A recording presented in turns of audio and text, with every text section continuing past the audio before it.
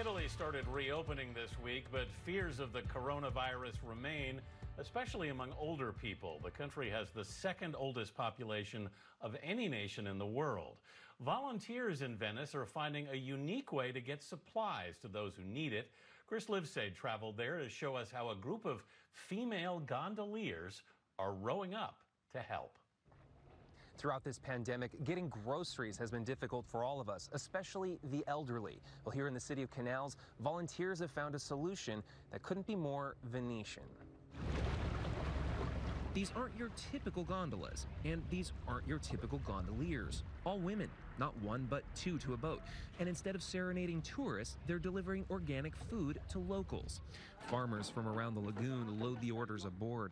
Giulia Tagliapietra, a competitive rower, says she and the others were stuck at home, unable to train for racing season during the coronavirus lockdown. It's a bit difficult, so now we do this like twice or three times a week and it also helps us because we can go out and breathe and grow.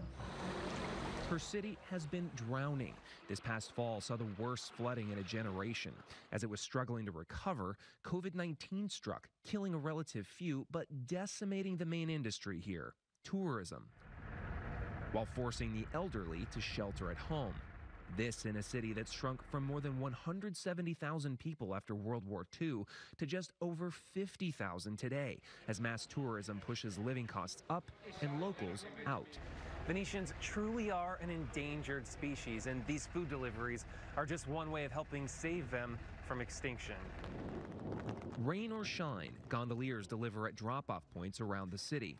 So you think this is really important? Mm-hmm. Quindi lei pensa che sia molto importante queste consegne? Importante, sì. Yes, says this customer, and it's so inspiring to see it delivered in a traditional Venetian boat. Food isn't the only thing they need. In this city with no cars, volunteers also deliver medicine by foot. It saved your life. Yes. Me with my broken arm, she says, and my 90 year old mother. She calls volunteer Marco Cabarellotto her angel. In the end, it could be your grandparents, uh, it could be your elderly aunt or a family member. So you find lonely people that maybe sometimes need also uh, someone who's friendly with them, someone who's caring somehow, and uh, it feels very nice delivering food, medicine, and also solidarity to a battered city with an unsinkable way of life. And the volunteers want to continue delivering food even after the lockdown. They say it's good for the body and good for the soul. Chris Livesay, CBS News, Venice. Yeah, as Chris says, such a Venetian way to solve the problem. My favorite city in the world, Gail. Everybody wonders about that painting behind me. It's a ah. scene of Venice. There's a reason it's there. Yeah, I get why it's your favorite city in the world. There's no place like it. And that, once again, it's another example, Tony, of people stepping up, going above and beyond the call of duty. It's happening all over the world. That's a great one. And I love that it was all women, too. I like that part of the story. Yes. Yeah, very cool. You know, they're up, they're on the canal, and they've got a boat, they've got an oar, places to go, things to deliver. It's working.